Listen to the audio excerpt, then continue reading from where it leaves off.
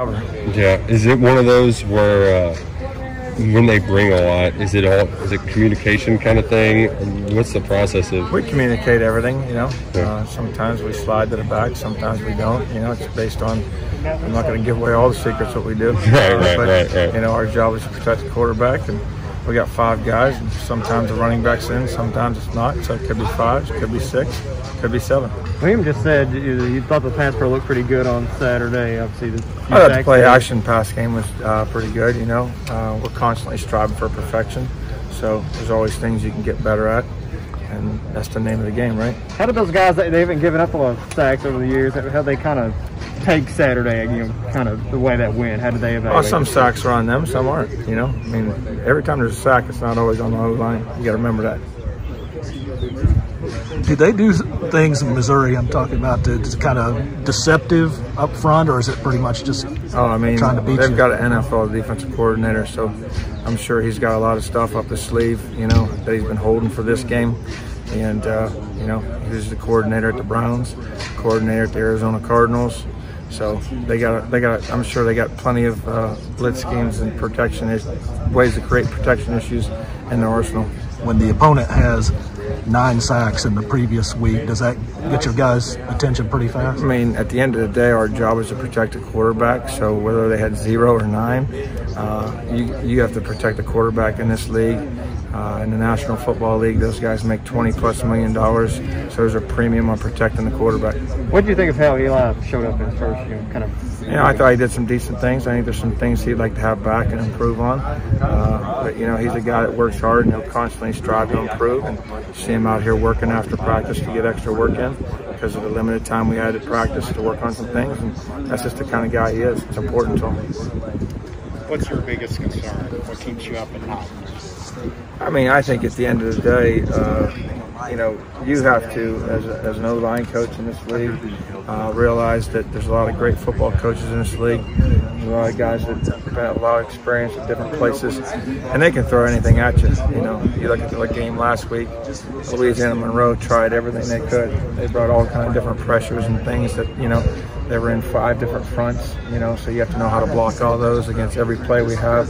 So it, it, can present a challenge, but that's why it goes back to your, your coaching.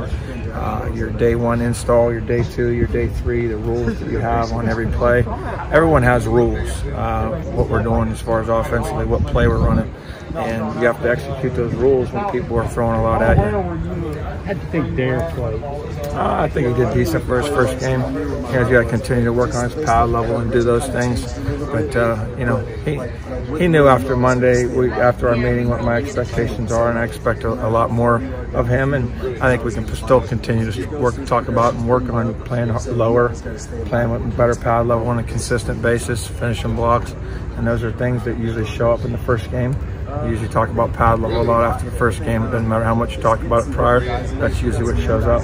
Yeah, generally speaking, how was the footwork of the guys? I mean, we were way up there. I didn't see too many people stepping on people's feet. Actually. No, I thought we were pretty decent there as far as footwork. I'd like to see us do a little bit better job on redirection. You know, um, playing with more violent hands at times. You know, those type of things. But uh, you know, it was day one. You know, game one, and uh, your biggest improvement usually shows up between game game one and game two. Number 18 from Missouri, uh, he's seen tremendous pass rushing. Uh, Aaron Rose Dog and Gabriel, he has, has to deal with him. I'm sorry.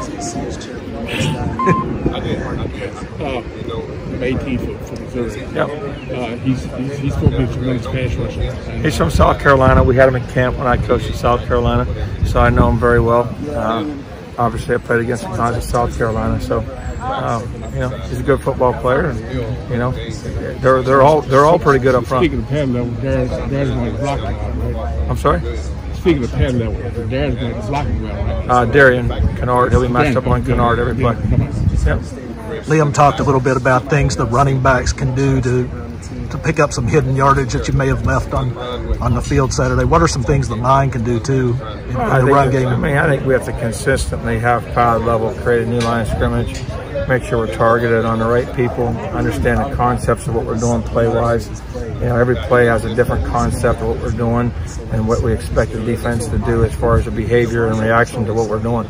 and just thoroughly understanding that. And then during the course of the game, saying, hey, you know, they're, they're not doing this here, what we expected. They're reacting like this. This is what we need to do here. That's part of the gamesmanship in the game of football. Yeah, O linemen have been traditionally known to be the smartest people on the team.